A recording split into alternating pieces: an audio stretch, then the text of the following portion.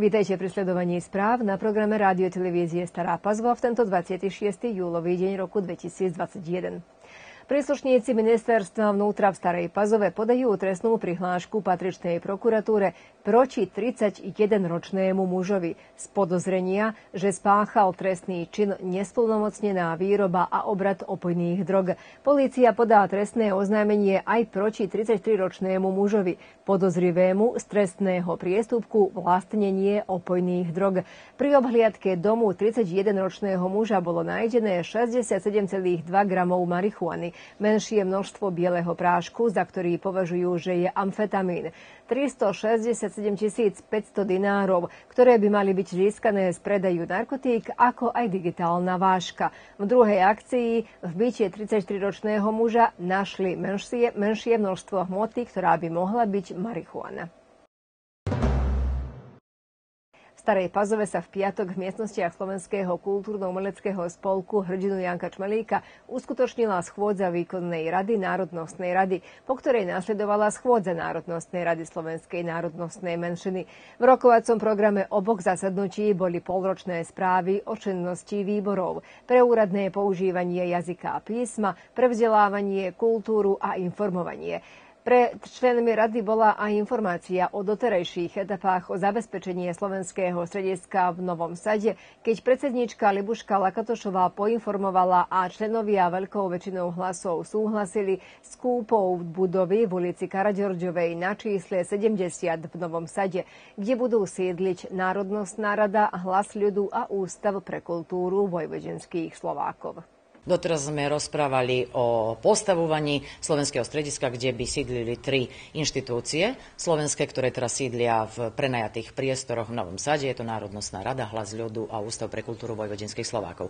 Keďže sa slovenský štát rozhodol poskytnúť nám určitú si sumu peňazí. Rozhodli sa aj o tom, že máme si kúpiť budovu, tak sme si vytýčili pár budovov, e, kde by tieto tri inštitúcie mohli sídliť. Veríme, že tú zmluvu v blízkej budúcnosti podpíšeme. Národnostná rada vyniesla aj svoje stanovisko k rozhodnutiu o prijatí zmien a doplnkov pracovného programu Ústavu pre kultúru vojvodenských Slovákov na rok 2021, ako aj k rozhodnutiu o prijatí zmien a doplnkov finančného plánu Ústavu Ústavu pre kultúru vojvodenských Slovákov na bežný rok.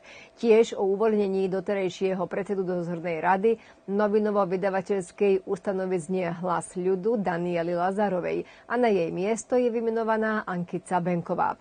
Rozprava sa viedla aj o situácii v hlasi ľudu, pričom bolo počuť, že správna rada tejto ustanovizne neinformuje zakladateľa o udalostiach a preto je dohodnuté, že na nasledovné zasadnutie Národnostnej rady budú pozvaní predseda správnej rady a riaditeľka hlasu ľudu. Diskutovalo sa aj o prekladoch učebníc jednotlivých vydavateľstiev. Predsedníčka rady zároveň pozvala všetkých, aby sa dali zaočkovať. Spolu s Ministerstvom pre ľudské a menšinové práva Slovenská národnostná rada e, účinkuje v akcii apelovaní na občanov, aby sa dali zaočkovať, lebo vieme, že jedine je to cesta, aby sme túto pandémiu, ktorá nás zasiahla, zvládli a začali už konečne normálne sa vrácať do tých kolejí života, ako sme si aj zvykli. A preto sú nahraté rôzne e, spoty, tiež aj vytlačené flyery, ktoré sa snažíme rozdeliť e, našim spoluobčanom. Je toto príležitosť vyzvať všetkých, aby sa dali zaočkovať tých, ktorí to pravda, že nespravili. Schválený je aj návrh na udelenie cien Národnostnej rady v rámci prichádzajúcich slovenských národných slávností. Štátny tajomník ministerstve zdravotníctva Mirsad Derlek vyhlásil, že do konca augusta nedosiahneme uspokojujúci počet zaočkovaných občanov. Dovtedy sotva, že budeme mať nadostač zaočkovaných a preto koncom augusta rozhodneme aj o tom, ako prebiehať bude nový školský rok. Preto je potrebné apelovať na občanov, aby sa zaočkovali, uviedol Derlek. Pre rádio televíziu Srbska spresnil, že v tomto kontexte bude rozhodujúci posledný augustový týždeň a o priebehu nového školského roka rozhodovať bude krízový štáb. Hostujúc na televízii Pink, doktor Predrag Kon uviedol aj to, že sa epidemická situácia v našej krajine pomaly zhoršuje a podobný trend treba očakávať aj v nadchádzajúcom období. Podľa jeho slov už počas tohto týždňa môžeme očakávať, že počet novonakazených koronavírusom prevýši 300 a podľa najnovších údajov zverejnených na stránke covid19.rs v našej krajine za posledných 24 hodín pribudlo 241 novonakazených koronavírusom. Zomrela ešte jedna osoba. Štát na pomoc sumy 18 miliónov dinárov na spolufinancovanie výroby filmov, ako aj sumy 29 miliónov dinárov, ktoré sú vyčlenené pre médiá, je v súlade s predpismi. Ocenila komisia na kontrolu štátnej pomoci. Tieto prostriedky bude udeľovať mesto Nový Sad na základe verejného súbehu. Subjekty môžu požiadať o maximálne 7 miliónov dinárov, kým je minimálna suma 100 tisíc dinárov za mediálny projekt. Od zajtra do soboty 31. júla na území Staropazovskej obce sa bude konať postrekovanie lariev komárov. Larvy budú postrekovať z lietadla okolo 7 hodine ráno a to s prostriedkom Vectobac VG, ktorý nie je nebezpečný pre včely. Plánované miesta pre postrek sú vodné plochy, kanály, rieky a bary, a to v časti Podunajska, totiž kanál Budovár, Belegišské Ády a v časti Dunaja.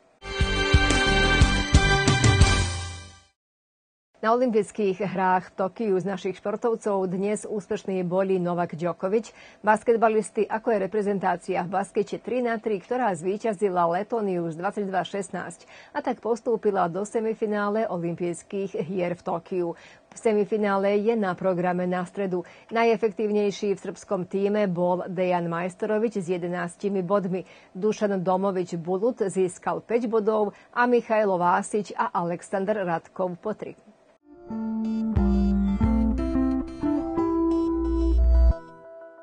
Podľa predpovede meteorológov zajtra bude teplo a sparno, predpoludním oblačno, ale bez zrážok.